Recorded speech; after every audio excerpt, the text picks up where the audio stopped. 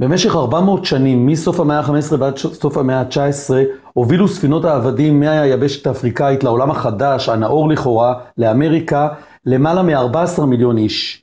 מתוכם שרדו את המסע המזוויע הזה, מסע שבו כרישים ביחד עם אמצעי עינויים ועם קברניטים סדיסטים, רק תשעה מיליון איש. חמישה מיליון, כן כן אתם שומעים נכון, חמישה מיליון איש שהועמסו על ספינות העבדים, לא ישרדו אותם.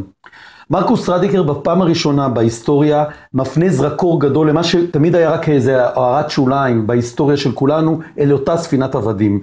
שילוב של בית כלא ובית חרושת. בית חרושת שמאלף את אותם אפריקאים שעולים עליו כערב רב של בני אומות שונות ושבטים שונים, והופך אותם לשחורים, מצייתניים ומתאימים לעבדות בארצות הברית, עבדות שתישא פירות של למעלה משלושה מיליארד דולר.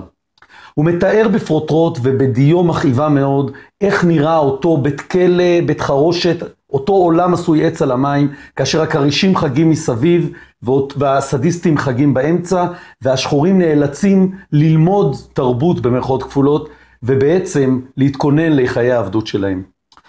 רדיקר בספר נפלא, חשוב מאין כמוהו, מדבר על הספינות ההן של העבדים ההם, אבל בהרבה מאוד מובנים מדבר עלינו, כי כולנו עדיין נמצאים על אותה ספינת עבדים.